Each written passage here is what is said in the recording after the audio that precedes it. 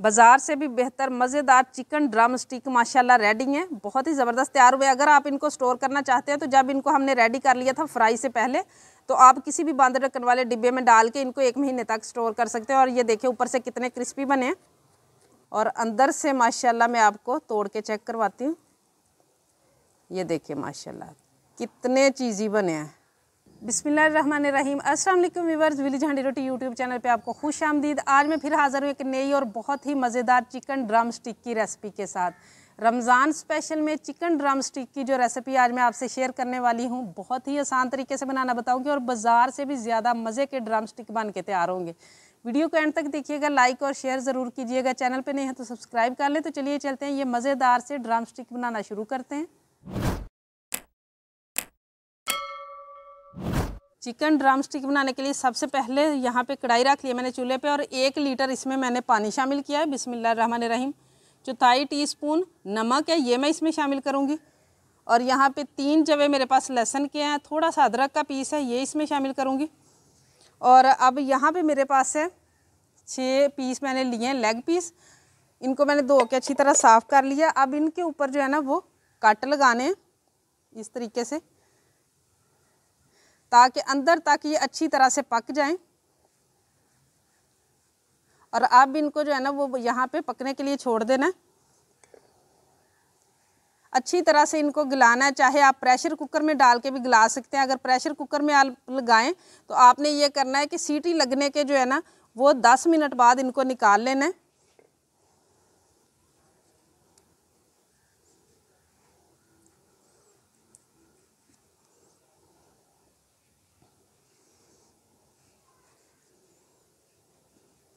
ये आखिरी पीस को भी मैंने करके डाल लिया। अब इसको कवर कर देना अच्छी तरह पकने तक। गोश्त को पकते हुए तकरीबन 20 से 25 मिनट हो चुके हैं और ये बड़ा अच्छी तरह गल चुका है। ये आप देख सकते हैं। अब इसको मैं निकाल लूँगी और इसको निकालने के बाद थोड़ी देर हम इसे ठंडा करेंगे। ये देखें माशाल्लाह।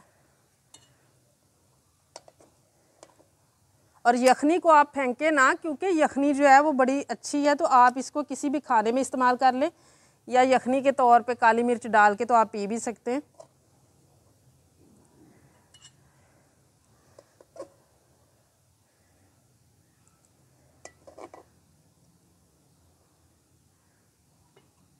अब इसको अच्छी तरह ठंडा होने देना है। चिकन थोड़ा बहुत ठंडा हो चुका है। बहुत ज़्यादा ठंडा तो नहीं हुआ, लेकिन हाथ लगने के काबिल हो चुका है। और अब इसको जो है ना, वो ऊपर से हम उतार लेंगे और इसकी हड्डी को हमने फेंकना नहीं है। इसकी हड्डी भी हमें चाहिए, उसको हमने धो के तो रख लेना है। रेसिपी के अंदर हम इसको इस्तेमाल करेंगे।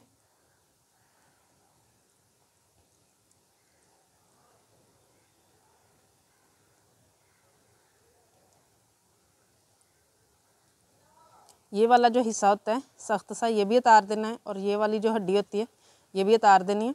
सारी हड्डी को साफ़ करने के बाद इसको हमने धो लेना है। लेकिन ये जो हड्डी वाले सख्ती से इनको हमने इस वाले गोश्त में शामिल नहीं करना।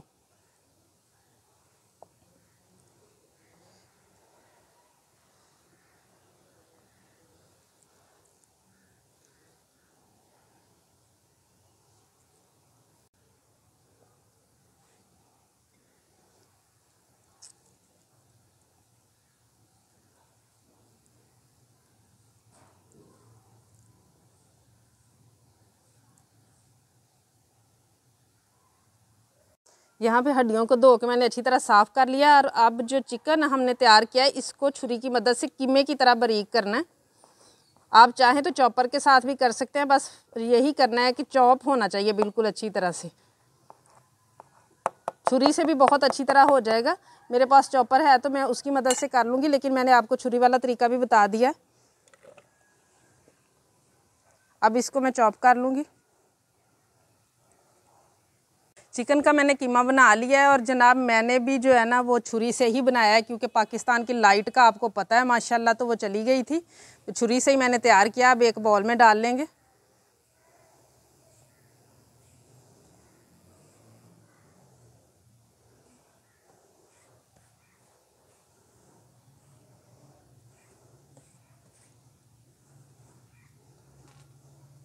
कीमा रेडी अब यहाँ पे मेरे पास दो लार्ज साइज़ के आलू मैंने लेके उनको बॉयल करके ठंडा कर लिया और फिर मैंने क्रश कर लिया, ये इसमें शामिल करेंगे।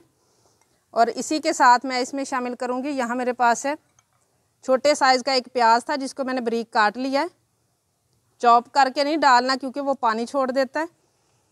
और अगर आप इनको बना के फ्रीज़ करना चाहते हो तो फिर आप इसमें प्याज शामिल ना करें। यहाँ दो सब्ज़ मिर्चें थी जिनको मैंने क्रश कर लिया और दो टेबल स्पून के बराबर सब्ज़ धनिया है।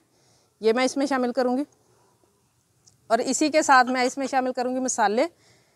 हाफ़ टी स्पून नमक है, क्योंकि थोड़ा सा हमने पहले भी शामिल किया था। और हाफ़ टी स्पून सुरख मिर्च है, हाफ़ टी स्पून काली मिर्च है और गरम मसाला है, half teaspoon chaat masala है, चौथाई टी स्पून और चौथाई टी स्पून ही यहाँ पे मेरे पास सूखा धनिया है।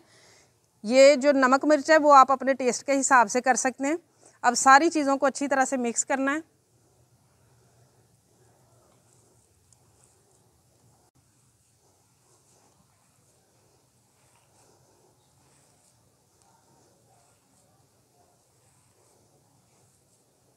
सारी चीज़ों को मिक्स कर लिया। अब इसको मैं छः बराबर हिस्सों में जो है ना, वो इसके बॉल से बना लूँगी रफ से, क्योंकि हमने छः लेग पीस लिए थे छः हड्डियाँ हमारे पास हैं तो छः हम इसके जो है ना, वो बॉल बना लेंगे।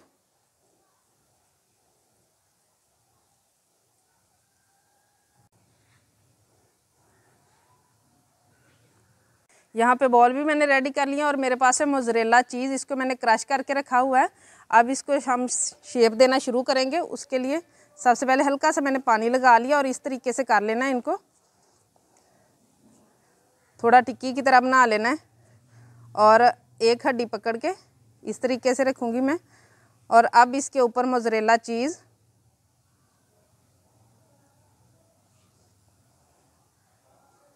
इस तरीके से। और अब इसको जो है ना, वो हम शेप देना शुरू करेंगे।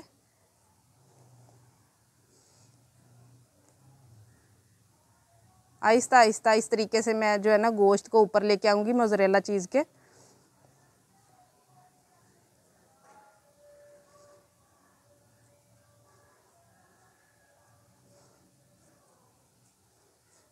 इस तरीके से करते हुए गोल गोल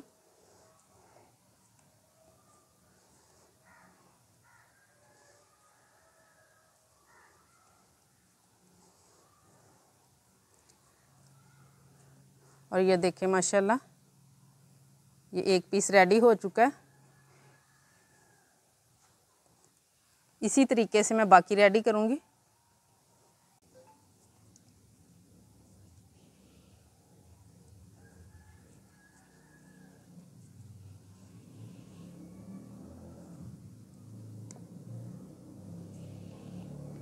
शेप माशाल्लाह सारी रेडी हो चुकी है। यहाँ मेरे पास है मैदा।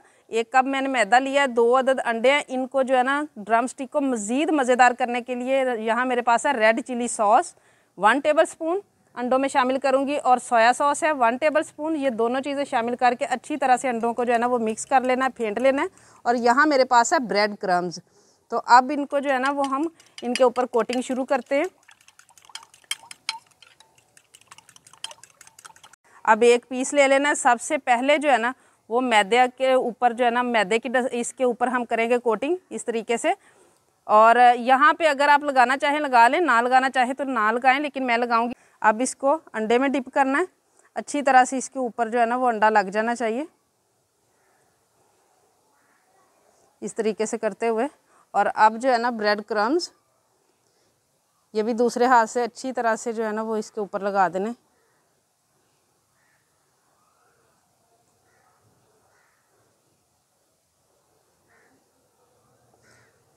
और ये माशाल्लाह रेडी है। इसी तरीके से मैं बाकी रेडी करूँगी।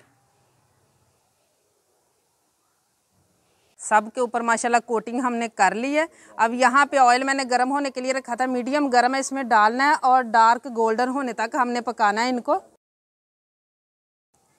इनको डाले हुए एक मिनट हो चुके हैं, अब आहिस्ता से इनकी साइड चेंज करनी है और माशाल्लाह देखे कलर आना शुरू हो गया है। माशाल्लाह, ये पक चुके हैं और बहुत ही ज़बरदस्त कलर आ चुके हैं। अब मैं इनको निकाल लूँगी और इसी तरह मैं दूसरे भी रेडी करूँगी। माशाल्लाह, बहुत ही ज़बरदस्त कलर आया है।